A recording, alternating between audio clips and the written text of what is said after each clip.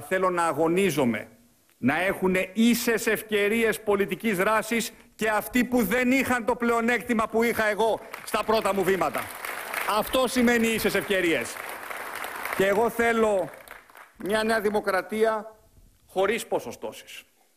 Θέλω μια νέα δημοκρατία η οποία δεν θα χωρίζεται σε μητσοτακικούς, καραμανλικούς, σαμαρικούς, με ημαρακικούς. Θέλω μια νέα δημοκρατία στην οποία το σημείο αναφοράς του κάθε απλού νεοδημοκράτη να είναι οι αξίες τις οποίες πιστεύει και η δυνατότητά του να διακριθεί μέσα σε αυτό το κόμμα, όχι με βάση το τι πλάτες έχει.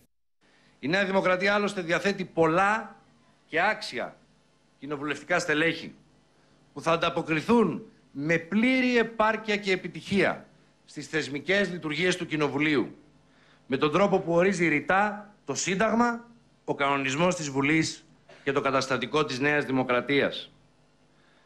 Θα βάλουμε όλες μας τις δυνάμεις. Θα αγωνιστούμε με τρόπο συλλογικό και ενιαίο.